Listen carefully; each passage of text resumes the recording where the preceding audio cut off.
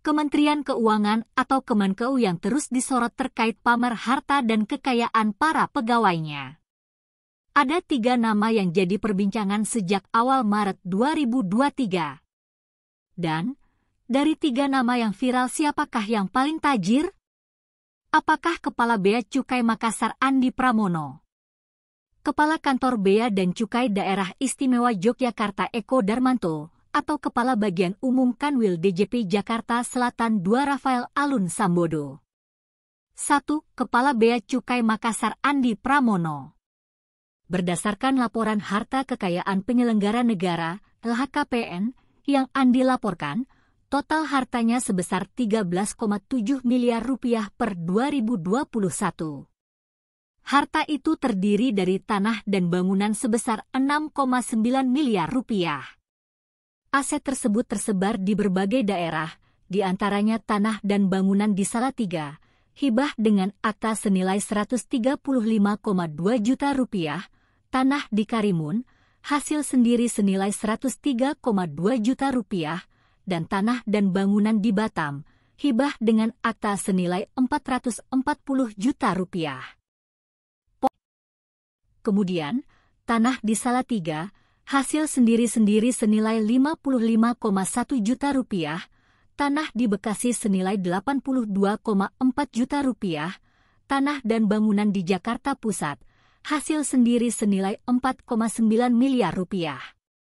Selanjutnya, tanah dan bangunan di Karimun, hasil sendiri senilai 54,7 juta rupiah, tanah dan bangunan di Bogor, hasil sendiri senilai 124,1 juta rupiah.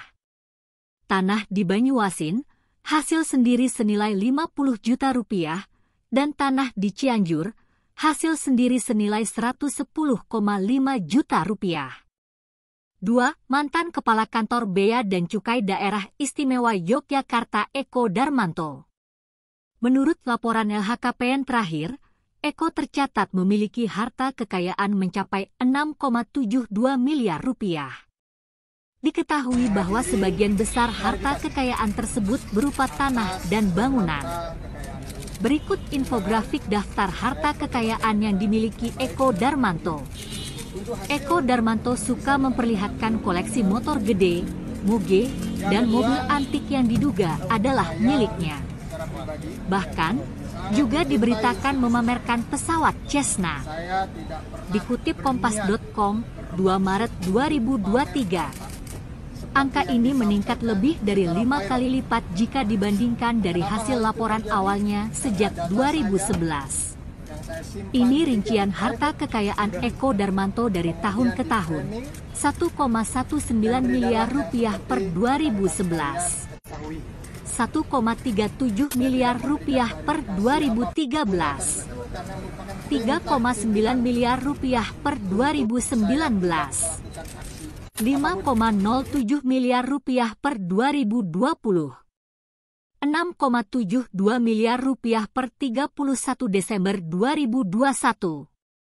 Setelah dirinci, maka harta bergerak Eko Darmanto lainnya 100 juta 700 ribu rupiah kas harta setara kas 238.904.391 rupiah. Subtotal 15 miliar 739 juta 604.391. Utang senilai 9 miliar 18 juta 740 ribu rupiah. Total keseluruhan harta kekayaan Eko Darmanto 6 miliar 720 juta 864.391 rupiah. 3. Mantan Kepala Bagian Umum Kanwil DJP Jakarta Selatan 2 Rafael Alun Sambodo. Kepala Bagian Umum Kanwil DJP Jakarta Selatan 2 ini berpangkat eselon 3. Kekayaan Rafael berdasarkan laporan harta kekayaan penyelenggara negara, LHKPN, 2021 mencapai 56,1 miliar rupiah.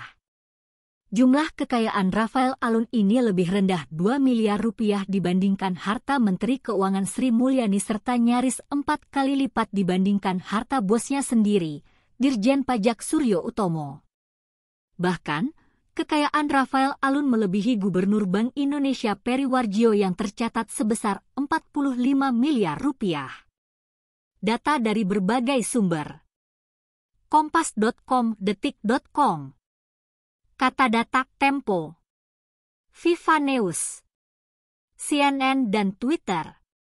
Editor Warta Kepri, Dedi Suada.